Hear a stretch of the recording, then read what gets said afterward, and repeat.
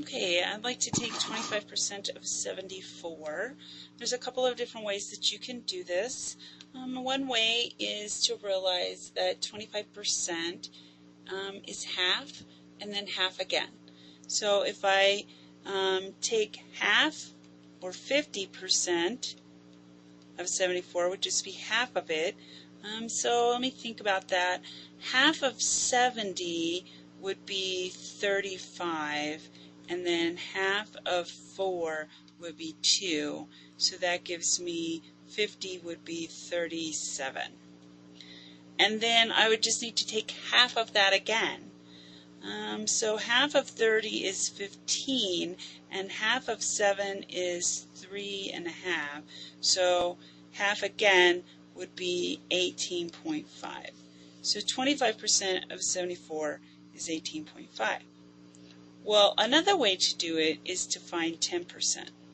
10% is easy because you just put in the decimal and move it one place to the left. Okay, so um, 10% would be 7.4.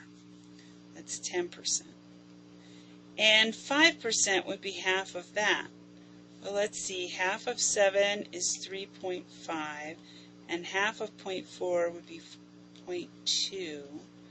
So that would give me 3.7. Now let's see, 25%, I would need two tens, 7.4, 7.4, and a 5, 3.7. So 4 plus 4 is 8, plus 7 is 15, carry the 1. 7 and 7 is 14, 15, 16, 17, 18. Bring the decimal straight down. 18.5. You see I got the same answer both ways. It just depends on which way um, makes more sense to you. The first one, half and half again. The second one, find 10%, then find 5%.